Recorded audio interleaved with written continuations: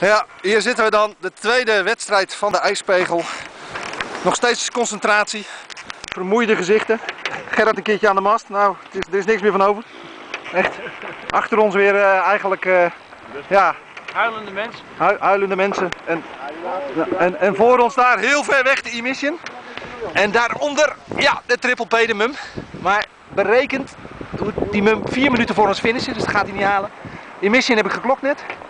Dus we gaan het zien. Alles onder controle, meneer de Nijs? Ja, goed zo. Goed bezig, jongen. We hebben allemaal aardig ons best aan het doen zijn hier. Dus, eh, nou ja, over en uit. Tot de volgende keer maar weer.